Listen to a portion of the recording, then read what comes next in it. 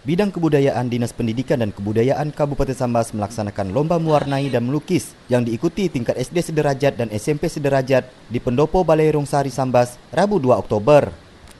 Untuk lomba mewarnai diikuti tingkat SD sederajat dan untuk lomba melukis diikuti tingkat SMP sederajat. Kegiatan ini dihadiri Sekretaris Dinas Pendidikan dan Kebudayaan Kabupaten Sambas Urai Iskandar, Kasih, staf, para juri, guru pendamping dan para peserta lomba. Sebelum acara dimulai, para peserta lomba diajak untuk mengunjungi Museum Daerah Sambas. Ketua Panitia, Haryadi dalam sambutannya mengatakan kegiatan ini bertujuan untuk mengenalkan museum daerah kepada peserta didik dan dewan guru yang ada di Kabupaten Sambas.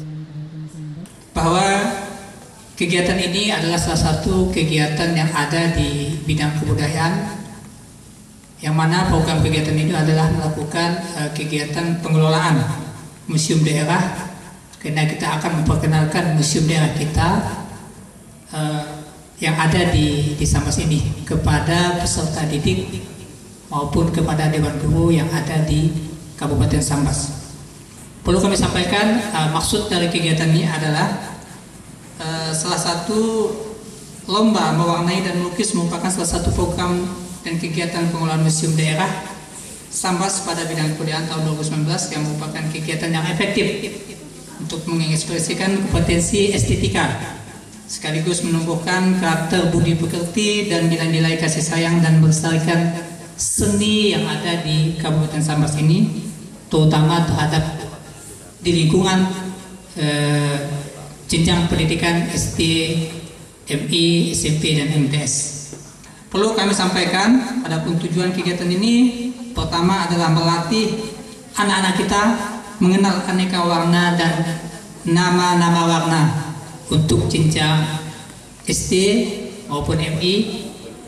Sedangkan untuk yang kedua ada tujuannya melatih anak untuk memilih kombinasi warna dan membantu anak untuk belajar keserasian dan keseimbangan warna. Sekretaris Dinas Pendidikan dan Kebudayaan Kabupaten Sambas, Lura Iskandar dalam sambutannya berharap museum daerah bisa masuk ke sekolah-sekolah dan memperkenalkan arti serta manfaat museum bagi generasi bangsa khususnya untuk masyarakat Kabupaten Sambas. Dengan adanya kegiatan ini, para peserta didik bisa berkreasi lewat media lukis dan mewarnai. Dia berharap segala potensi yang ada harus dikembangkan dan dia berterima kasih kepada sekolah dan guru yang telah bersedia mengikuti kegiatan ini.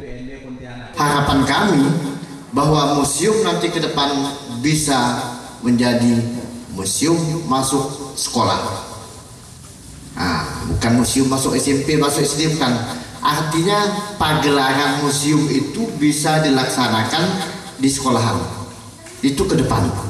Mudah-mudahan cita-cita kami di Dinas Pendidikan itu betul-betul dapat memperkenalkan arti dan manfaat museum bagi generasi bangsa Indonesia khususnya bagi masyarakat Sambas.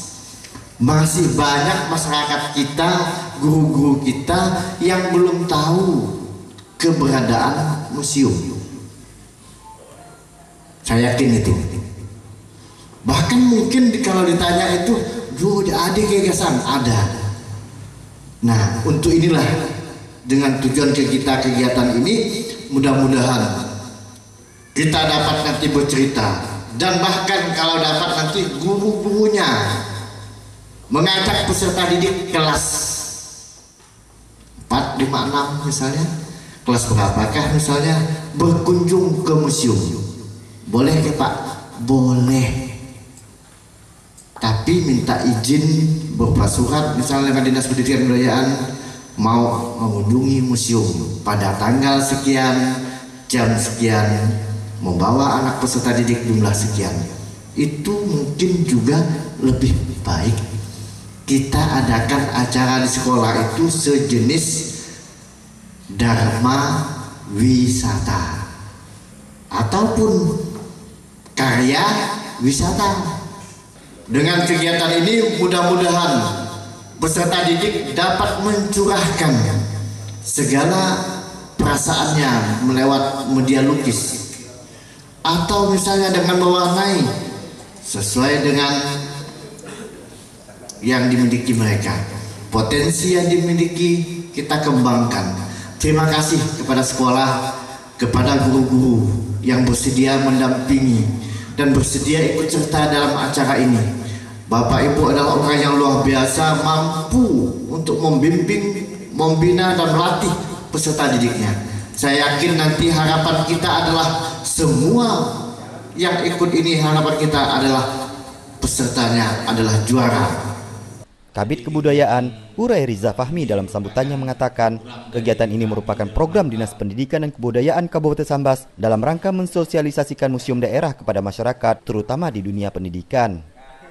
Jadi kegiatan uh, ini merupakan program dari kami dalam rangka untuk mensosialisasikan museum kepada masyarakat, terutama kepada dunia pendidikan yaitu anak-anak kita yang SD dan SMP, SMA serta mahasiswa yang perguruan tinggi yang ada di Kabupaten Sambas.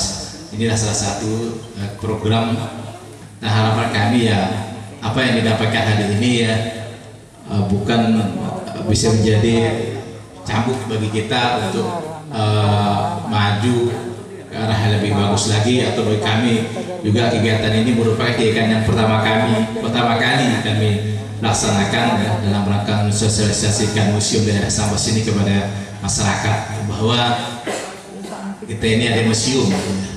Museum daerah yaitu museum uh, yang dimiliki oleh pemerintah. Jadi di Sambas ini ada dua museum. Museum daerah Sambas dan satu museum swasta museum Pak Haji Subhanur Kegiatan mewarnai dan melukis tingkat SD dan SMP ini diikuti sebanyak 60 siswa. Tampak para peserta lomba sangat antusias mengikuti kegiatan yang dilaksanakan oleh Dinas Pendidikan dan Kebudayaan. Pada lomba mewarnai, juara pertama diraih Madrasah Ibtidayah 3 Sambas, juara kedua diraih Sekolah Dasar Negeri 5 Durian, juara ketiga diraih SD Negeri 1 Mentawa, dan juara keempat diraih Madrasah Ibtidayah 1 Sambas.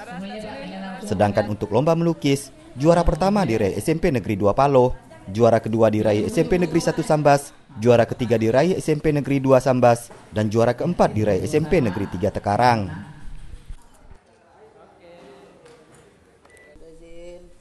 CSM TV madahkannya.